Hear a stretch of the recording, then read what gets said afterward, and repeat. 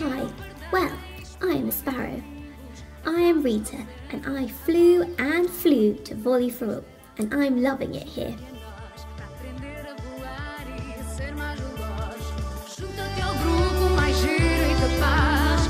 Joga pra frente não olhes para trás. Na bola é for all. I am part of a really fun group, the Volley for All Sparrows. I practice three times a week, and sometimes we have games on the weekend against other teams. It's great.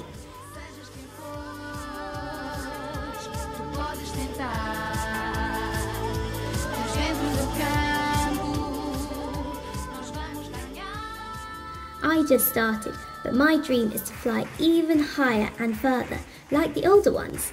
Yeah, the eagles. Coach says that the most important thing is not to miss any practice, arrive on time, and understand that if I fail, the whole team does.